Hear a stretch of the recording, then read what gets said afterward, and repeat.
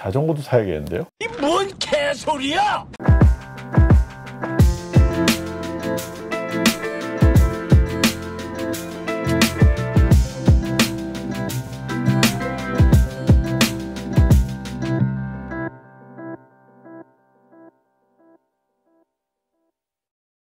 안녕하세요 당근조 실험실의 조재만입니다 아 오늘은 좀 와일드하게 나왔죠.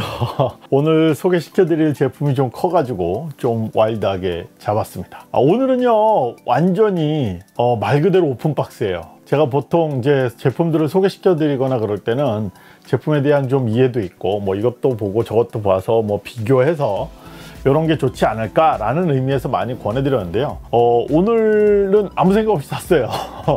정말로 아무 생각 없이 샀습니다. 아, 오늘 소개시켜 드릴 제품은 가민에서 나온 자전거용 트레이닝 키트라고 할까요? 그런 제품입니다.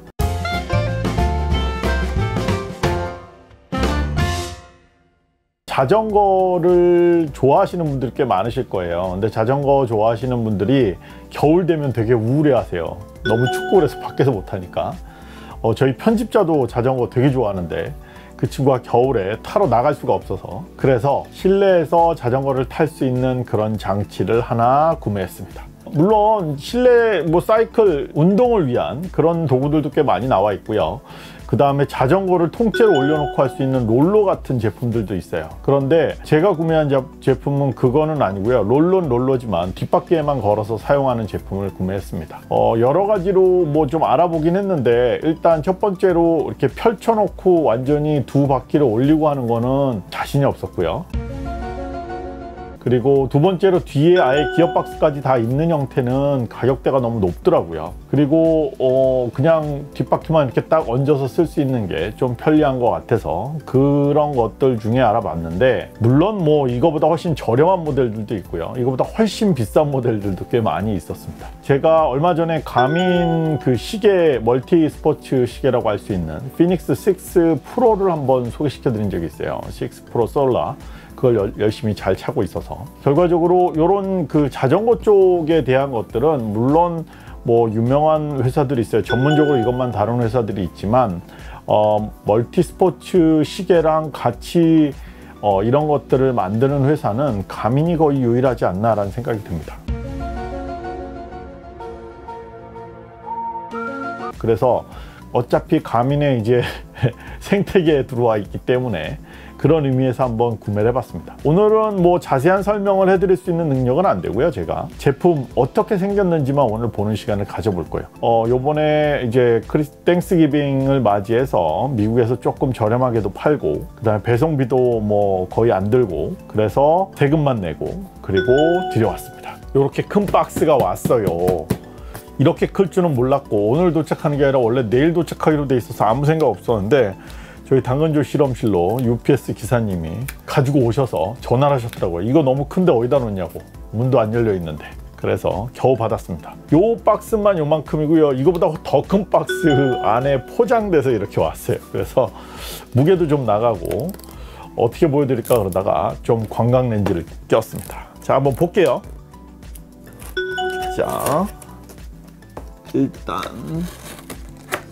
저도 어떻게 포장돼 있을지 감이 없는데 생각보다 접이식이라 큰 사이즈를 차지하진 않지만 무게는 꽤 나가는 편입니다 그래서 좀 고민스러운데 아 박스가 하나 더 있군요 우와 나와라 이야 자 제품은 이렇게 생겼습니다 우씨 아이고 으쌰 Boost Bundle 해서 include speed sensor가 내장되어 있는 이 두 가지 종류가 있어요. 똑같은데 스피드 센서가 내장된 게 있고 없는 게 있습니다. 그래서 스피드 센서가 있으신 분은 굳이 이 모델을 구입하지 않으셔도 되는데 얘는 바로 이게 들어 있습니다. 그리고 one month premium Tacx software free 야 이 소프트웨어 구독료가 있는 것 같네요. one month free라고 하는 거 보니까. 어쨌거나 이런 제품입니다. 뜯어보도록 하죠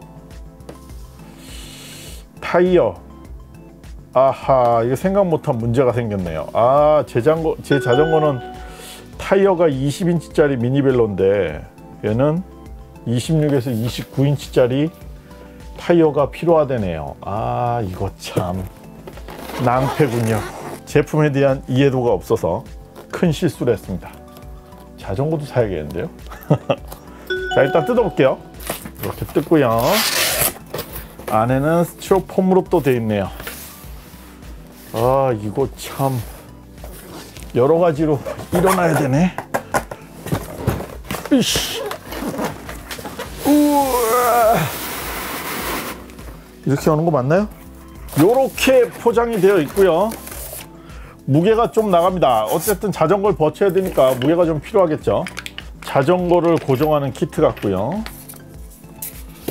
그리고 속도를 조절할 수 있는 이 줄이 있고요. 요게 아마 타이어를 미끄러뜨리는 저항을 주는 그 부스터인 것 같아요.